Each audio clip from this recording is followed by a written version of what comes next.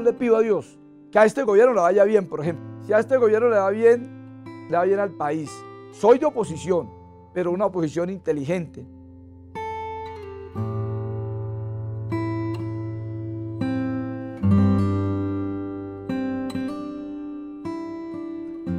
Soy José Vicente Carreño Castro del Centro Democrático.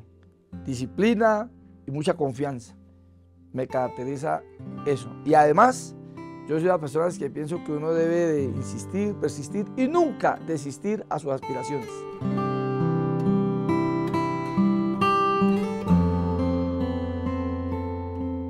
Bueno, yo soy de Barranca Bermeja, Santander.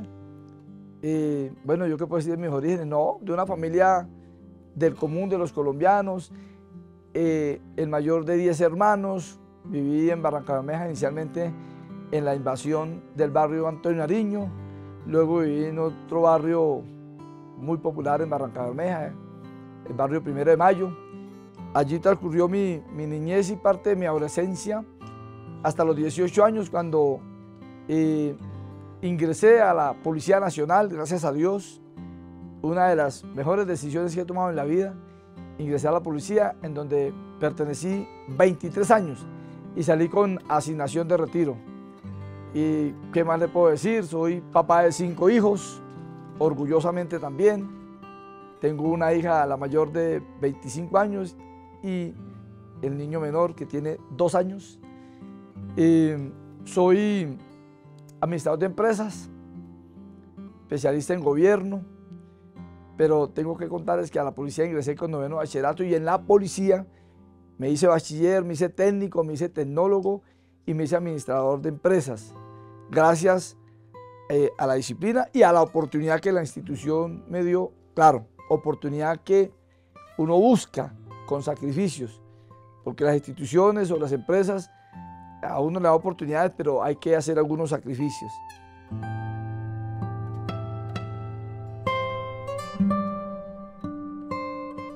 Y tengo hoy conformado un hogar muy bonito con mi esposa, Marta Rojas. tuve el honor de ser elegido tres veces entre los mejores policías del país. Fui finalista al premio Corazón Verde de la una fundación que hace visible lo invisible de la Policía Nacional. Eh, fui el primer ganador de un reconocimiento que hace la policía, la excelencia policial, para allá en el año 2010. Y además también fui eh, seleccionado de los, 10 ganadores del premio de la JCI International, de, de los 10 jóvenes líderes del país, un reconocimiento que hace la sociedad civil a ciudadanos de Colombia por el trabajo, por alguna clase de trabajo, en el caso mío, un trabajo social comunitario dentro de la Policía Nacional. Ahí también premian a empresarios, a políticos, bueno, en fin. Y en el año 2012 eh, salí con la asignación de retiro y bueno, eh, incursioné en la política. Mm, el periodo pasado eh, tuve el gran honor de ser el congresista de los araucanos, representante a la Cámara y hoy, gracias a Dios, a esos mismos araucanos, a todos los veteranos de las reservas de este país, es decir, hombres y mujeres que han trabajado 20 y más años en las instituciones como la Policía Nacional, el Ejército, la Fuerza Aérea y la Armada Nacional, y la familia de soldados y policías en actividad me hicieron senador. Puedo decir que soy uno de los senadores más regularmente votados en todo el país. Gracias a Dios a mi amado Arauca, a mi amada policía, a nuestro glorioso ejército, Fuerza Aérea Armada Nacional, sus familias, los veteranos de este país me hicieron senador con 52 mil votos y hoy los represento con mucho orgullo, con mucha dignidad y pidiéndole siempre a Dios que me dé la sabiduría, la inteligencia, esa, la capacidad que siempre me ha dado para que se sientan orgullosos de esta representación y los colombianos eh, eh, vean en este senador el entusiasmo y las ganas de trabajar cada día por el país.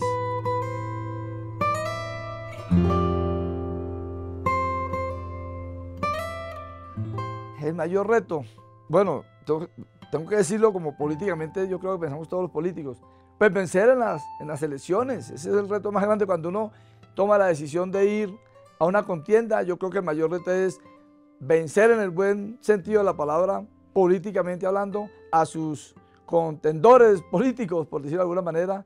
Y, yo creo que hoy pues hemos logrado algunos espacios con el respeto y haciendo una política eh, de frente al país clara, sin agredir a, los, a, nuestros adversarios políticos, solamente eh, con ideas y llevando los argumentos a los ciudadanos, pues yo creo que han sido los mayores retos y lo hemos logrado, a Dios gracias, en estas dos aspiraciones que he tenido.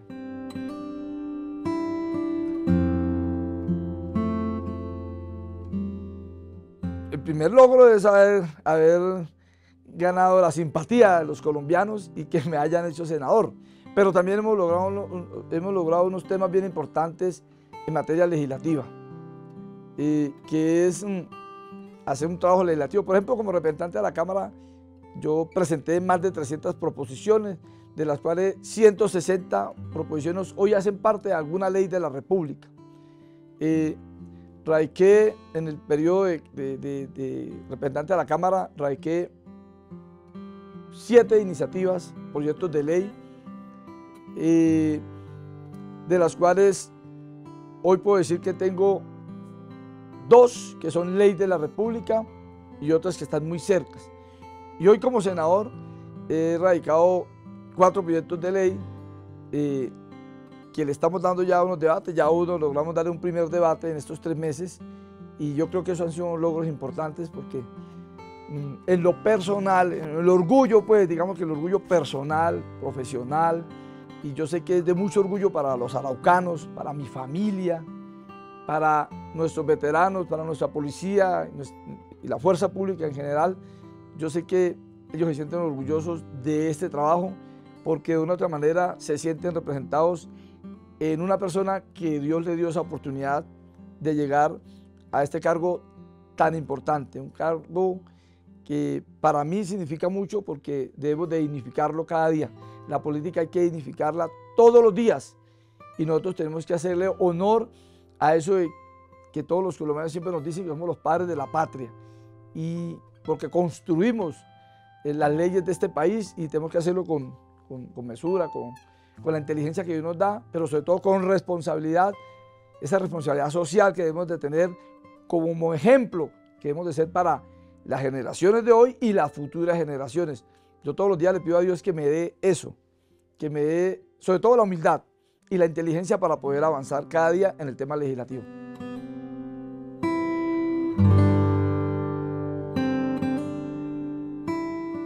Yo creo que no hay un solo colombiano que hoy esté pensando o deseando que a un gobierno le vaya mal. Tiene que irle bien y ojalá que le vaya bien, que nosotros tengamos que aplaudirlo, sería lo ideal. Tenemos ciertos miedos, ciertas preocupaciones por, mm, mm, por una agenda que el gobierno ha presentado y que nos preocupa muchísimo. Pero también debo decirle que así como deseamos que le vaya bien, que nos hemos eh, declarado en oposición, pero como lo ha hecho desde las directivas del partido, una oposición eh, inteligente. Cuando digo inteligente es aquellas iniciativas que presenta el gobierno que vayan en beneficio del país, vamos a apoyarlas. Pero todas aquellas que vayan, por ejemplo, en contra de la seguridad nacional, en contra de la democracia, en contra de la estabilidad del país, de la seguridad ciudadana, pues tendrá toda nuestra oposición como tiene que ser. Porque para eso los colombianos también confiaron en nosotros. Porque no podemos venir a aprobar todo porque, lo, porque es la agenda que pone un gobierno. No. Las cosas positivas, como ya lo hemos demostrado, lo hemos apoyado. Pero las cosas que consideremos que son nefastas para el país tendrán toda una oposición. En lo personal, yo, José Vicente Carreño, senador del Centro Democrático, también aquellas cosas o proyectos e iniciativas del gobierno que vayan en contra de nuestra fuerza pública, de los intereses de los veteranos, de la reserva, esos hombres y mujeres, los no uniformados del Ministerio de la Defensa, de las viudas, de los huérfanos, de nuestra policía, de nuestro ejército, de nuestra Fuerza Aérea, de nuestra Armada Nacional, esas iniciativas que vayan en contra de esos intereses o en contra de aquellos, de, esos derechos que ya tenemos, tendrán toda mi oposición y buscaré todos los espacios en los demás congresistas para que también nos apoyen. Y por supuesto que lo que buscamos es también mejorar las condiciones de esos soldados y policías hoy en actividad. Esos que no tienen voz, esos que por la obediencia castrense no pueden opinar. Pues imaginen ustedes, si no pueden hacer el ejercicio de elegir, y sin embargo, los policías y soldados son quienes cuidan a esta democracia, quienes cuidan a quienes hacen las leyes, quienes cuidan al establecimiento del Estado, cuidan a los colombianos, aseguran las elecciones. Sin embargo, no les hemos dado la oportunidad de elegir. Entendemos que no, no puedan ser electos por aquello de funcionarios públicos, pero elegir sí debería ser. Entonces, todo lo que vaya a favorecer a nuestra fuerza pública, ahí estamos de frente. Y lo que no, pues tendrá nuestra oposición también, con el respeto que se merece el gobierno, pero también con la coherencia que merece el Estado colombiano o los habitantes de Colombia.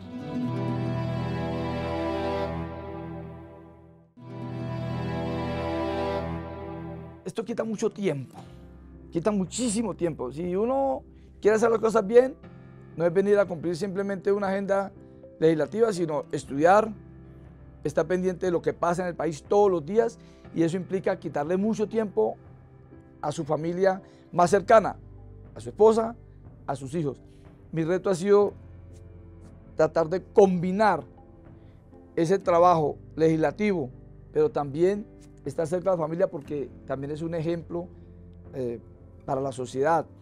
Y otro reto importante es tratar de, aquí en el Congreso yo a decirlo, hay muchos ilustres, muchas mentes brillantes, gente de mucha, mucha capacidad intelectual y muy juiciosos.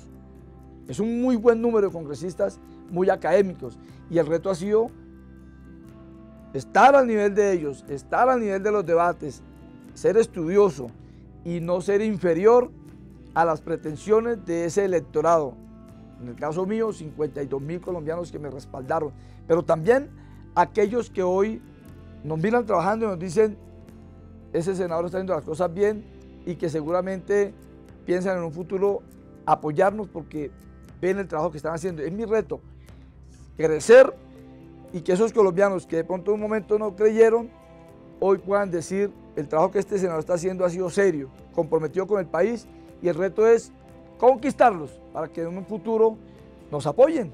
Ese es un tema bien importante y es un reto personal.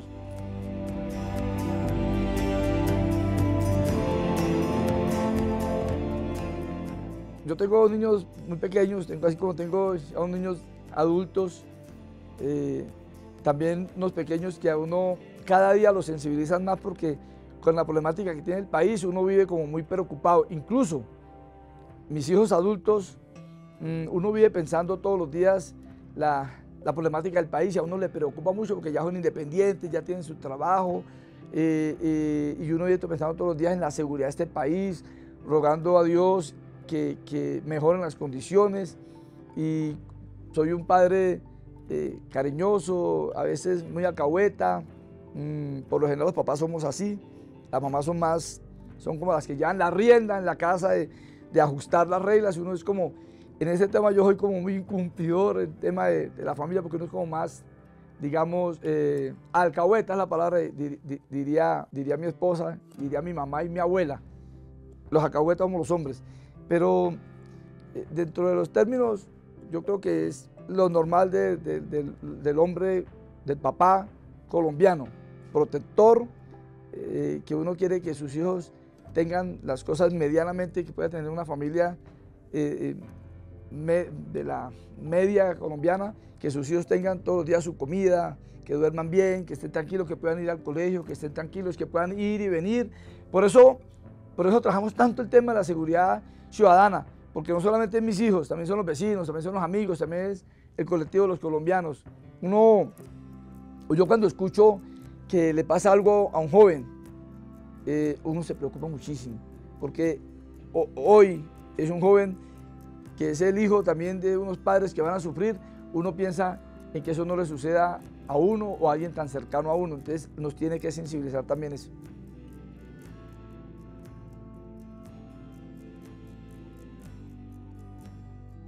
Esto suena una frase de cajón, pero yo creo que la Colombia soñada, que todos los colombianos todos los días nos dibujamos una palomita de la paz, Yo creo que no hay un solo colombiano que no sueñe con eso, de que tengamos un país muy tranquilo. Sería mucho pedir que fuera un país como Suiza, países que uno sueña, ah, pero yo también digo a los colombianos, en Suiza seguramente hay mucha paz y progreso, pero aquí también somos felices, aquí somos alegres. De hecho, hemos sido considerados uno de los países más alegres del mundo, incluso con las dificultades que tenemos. El país soñado es un país donde no se aguante hambre, donde los colombianos tengan oportunidades laborales, en donde hay una clase de dirigencia política honesta, en donde todos podamos converger y no tengamos miedo a andar las vías, no tengamos miedo a salir las calles, podamos ir a los sitios recreacionales o a los centros comerciales o a cualquier parte del país, que no hay una sola geografía del país donde no pueda ir el colombiano, del común, el colombiano que tenga o no tenga cierta posición. Yo creo que ese es el país en que soñamos, un país donde todos podamos entendernos en medio de las diferencias, en medio de las ideologías, podamos todos converger y vivir tranquilos. Yo creo que ese es el país que no solamente sueña el senador Carreño, yo creo que es el país que soñamos todos los colombianos.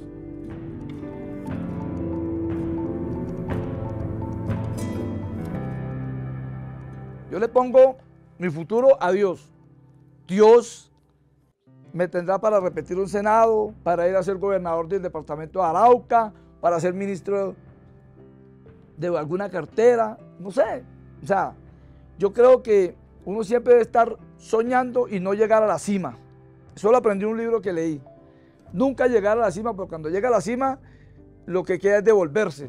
Entonces, cada vez que se me está acercando el final de un cargo en que estoy, y eso lo tengo como cultura de todos estos años, 23 años que fui policía y lo que llevo como congresista, es ir pensando en un futuro, a qué otro, a qué otra cima quiero llegar.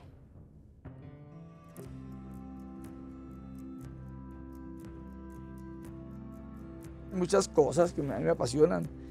Eh, un buen café, por ejemplo, eh, como creo que como la mayoría de los colombianos, levantarse a tomarse una buena taza de café en compañía de su esposa, eh, sentarse uno a poder charlar con los amigos tranquilos. Me apasiona poder tener la tranquilidad de entrar a todas partes y que no tenga uno como esos en el corazón de pronto recores, eh, peleas con los amigos o con alguna persona, porque es normal que uno de pronto tenga diferencias con la gente, pero también me, me apasiona poder reconciliarme con la gente. Mire usted, en este tema legislativo o en este tema de la política, uno tiene grandes diferencias con sus compañeros de, en este caso del Senado, pero aún así a mí me apasiona que tengamos el debate, pero que después podamos darnos la mano y que eso quede en el debate. Y, yo, y es la invitación que le hago a todos los congresistas, a todos los sectores políticos. Los debates van y vienen. Y hay que defender las posturas y hay que tener posiciones claras, yo las tengo, pero eso no me, eso no me aleja de poderle dar la mano a una persona del pacto, a una persona de los liberales, conservadores, o a una persona incluso de los comunes, porque de eso se trata la política. De eso se trata eh, un país demócrata como el de nosotros, donde se vive en democracia, donde todos podemos opinar. Eso me apasiona. Y aquí he aprendido mucho de ello. Y aquí he aprendido a escuchar a veces el maltrato de palabra o a escuchar que alguien me debata mis ideas. Pero he aprendido que tengo que aceptarlas y también tener la oportunidad de confrontar eh, eh, eso, el pensamiento de X o Y o las posiciones que tomen en cada debate que tenemos acá en el Congreso.